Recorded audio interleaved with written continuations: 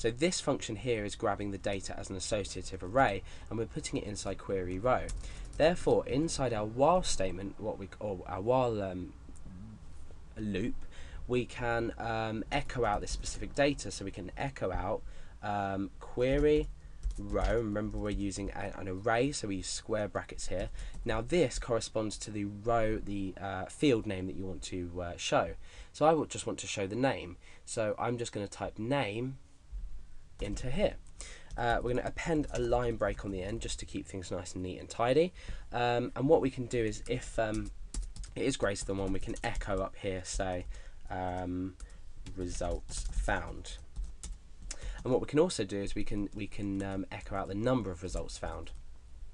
So uh, let's take this. Um, well, I'll demonstrate the uh, the way the program's working at the moment, and then we can make that slight modification. So let's go and refresh the page. Uh, okay, so I'm going to type in Alex and click search. You can see that results found Alex Garrett and Alex Malcolm. Now let's search for Garrett and click search.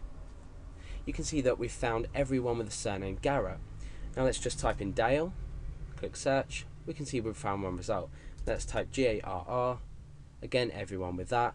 Let's type in A and you see we've received all results because every um, result has an A in it or every record has an A in it.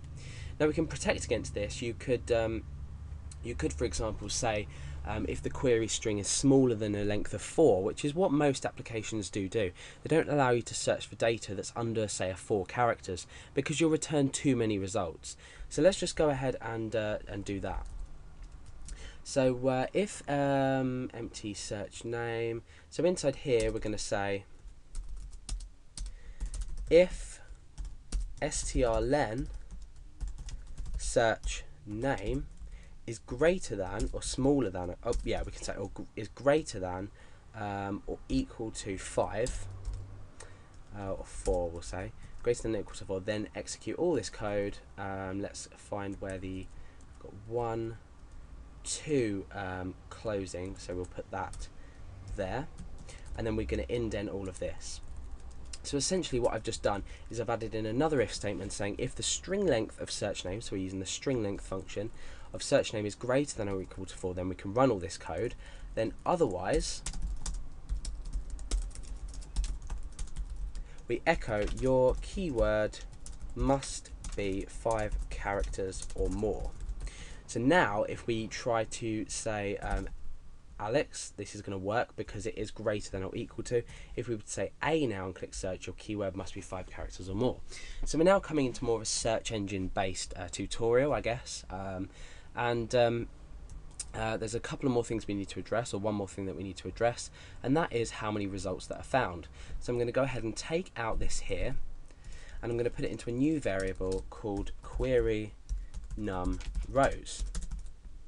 So now what I can do is I can substitute this in here, query num rows, and we can also echo out here query num rows dot space and results found. So this is going to say a number uh, and this is the same number as well so we're, we're using this variable that's why I took it out and popped it into this variable here um, and we're appending on a space and then results found. So let's go ahead and type in Alex, click search, two results found, it's displaying two results. Now let's go ahead and type in Garrett, and you can see that three results are found and it's displaying. So this is the like um, condition in um, in PHP. Like I said, you can use this with underscores to represent specific characters, so we're filling in the blanks for specific characters. Uh, and also we can use our wildcards on the left, right hand side, or on either side of our uh, of our value that we're trying to match to. So we've created a little program that search for names. You can use this to search for absolutely any data. You just need to uh, take into account what I've said and uh, represent the uh, field names uh, with the names that you want to search with.